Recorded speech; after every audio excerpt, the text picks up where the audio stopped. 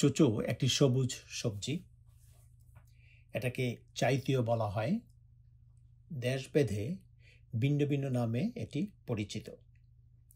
বার্মায় একে বলা হয় গুর্খা ফ্রুট।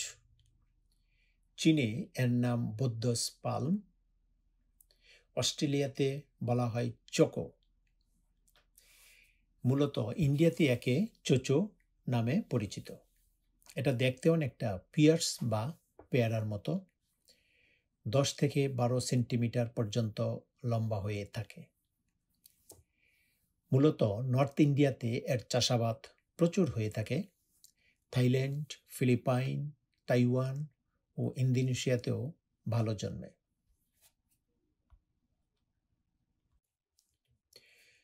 যুক্তরাজ্যে সামারে এটি চাষাবাদ করা যায়। আমি প্রথমবারের মতো রোপণ করেছি লন্ডনে। জুন মাসে আমি এটি বাগানে দিয়েছি। অনেকটা লাউ বা কদু চাষের মতোই বেশ লতানো গাছ।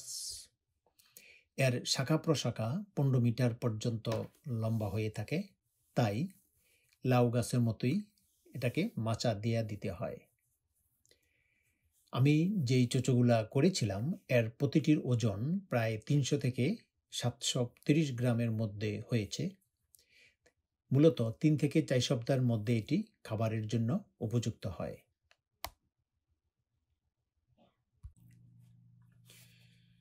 চোচো সবজির পুষ্টিগুণ অনেক। প্রতি একশো গ্রামে রয়েছে উনিশ ক্যালোরি।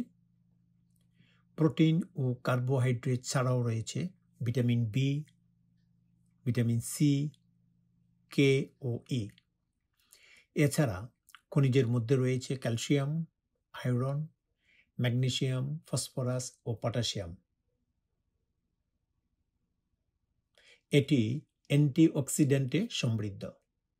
যাদের শরীরে ব্যথা রয়েছে, তাদের জন্য বেশ উপকারী। অন্য সব সবজি, বিশেষ করে লাউ বা সিম চাষের মতোই মাটি তৈরি করে নিতে হয়।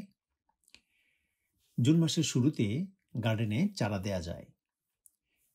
নিয়মিত পরিচর্যা করলে আগস্ট মাস থেকেই ফলন পাওয়া যেতে পারে। যুক্তরাজ্যে নভেম্বর মাসের শেষ সপ্তাহ পর্যন্ত বাগানে এই সবজিটি রাখা যায়। এটি একটি অত্যন্ত সুস্বাদু সবজি, খেতে অনেকটা পেঁপের মতো।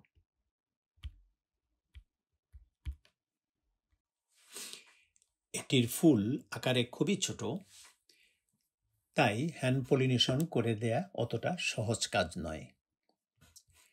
লাউ বা সিম গাছের পাশাপাশি থাকলে মৌমাছির চলাচল বেড়ে যাবে।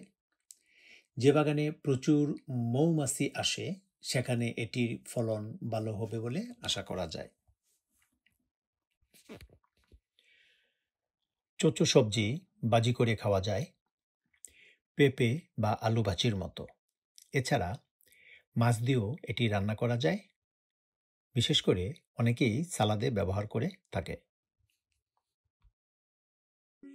বাগান করুন মন প্রফুল্ল রাখুন এবং শখের বাগানের সাথেই থাকুন।